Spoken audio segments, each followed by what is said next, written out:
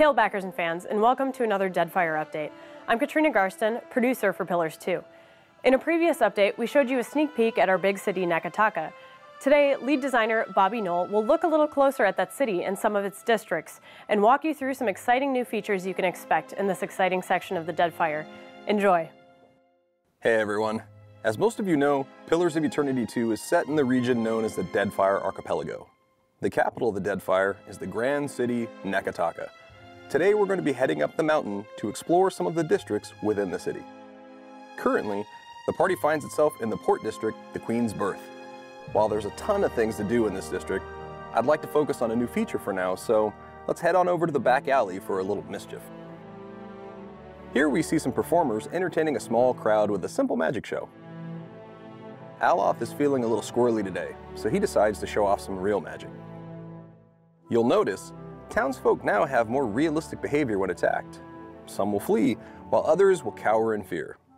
Luckily for the party, there are no guards in the vicinity, so Aloth concludes the demonstration by hamming it up for the terrified crowd.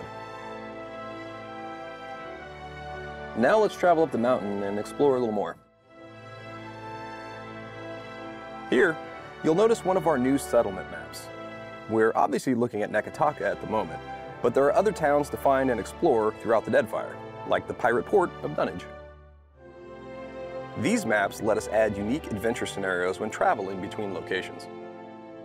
You may run into a foolish noble and his guards that have gotten turned around in the rough part of town. Do you offer to help him? Maybe you want to rob him. You might also come across a traveling mystic who offers to read your fortune. Or just maybe, you'll be attacked by shadowy assassins because you crossed a powerful person or a faction in the region. Okay, we finally arrived at Periki's Overlook. Let's visit a few locations. First up is the Dark Cupboard.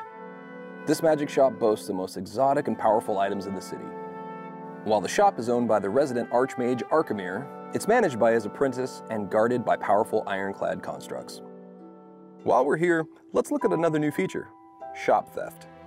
Stealing from shops can now remove an item from the store's inventory. This allows players to attempt to steal things of greater value than in the original game. Just don't get caught. Next up, we have Arkemir Manor, home to one of the reclusive and mysterious Archmagi of Eora. This multi-leveled adventure area has several entrances, similar to Raedric's Hold.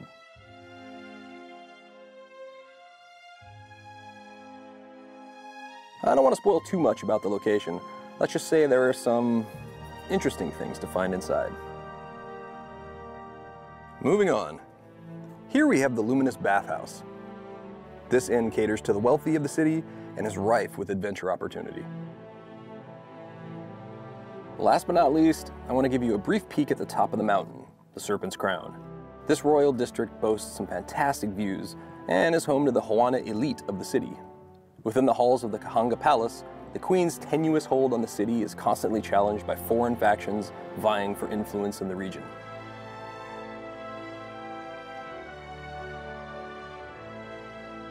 And of course, the city has its hidden underbelly, the Gullet. Within this underworld, crime and poverty rule. And you'll never know if that shadow in the alley will offer a helping hand or a dagger in the back. Thanks, Bobby.